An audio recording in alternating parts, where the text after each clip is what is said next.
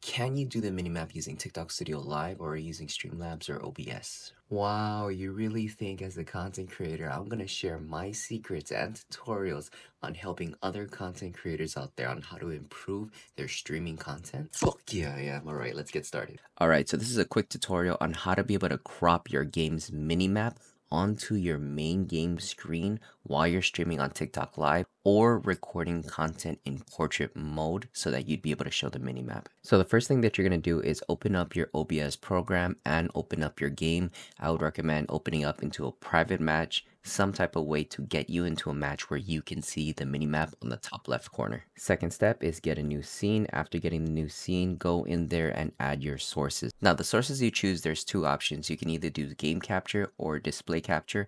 Either or will work for you and you implement the same instructions in that same way. So the first thing we're to add is the main game screen. So what you want to do is add sources, go into game capture or display capture like I said. Game capture here, I already have it existing. Click on it, press That's going to bring up this screen. Of course, this is the main one that you're going to put centered any way that you want on your stream or your content. So do that and then zoom in at any degree. Next step is we're going to add another source, do game capture again. So it's going to create a second window. Now this second window, this one is trial and error and this is the reason why you need to have the game open so it can show you where to crop the mini map.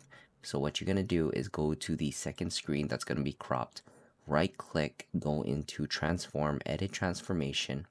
Now from here, this is the hard one because you have to kind of guess how much to cut and crop for that screen. So if you look at the bottom, you can crop right, crop left, crop top, crop bottom. So since the minimap is on the upper left, we're to crop the right side and we're to crop the bottom side. I've taken the liberty of cropping it again myself. What I'm to do is I'm to throw the pixel numbers on the screen right now. These are the numbers that you want to input so that you know to exactly crop at the right section so that it would be able to only show the minimap for the second screen.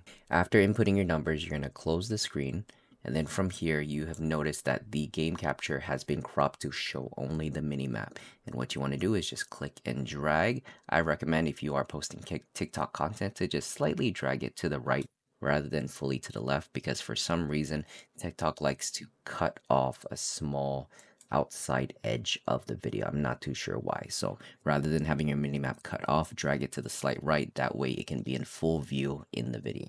But honestly, that's it, guys. If you want to add your webcam at the top, feel free to do that too. But at least now you get to show your main screen of your zoomed in gameplay and the minimap. That way, any type of kills that you're doing, any type of plays that you're making, there is some validity to it to show that you're a legit player because you can see the enemies on the minimap, which creates that map awareness that you already have. I hope this helps, guys. Y'all have a good day.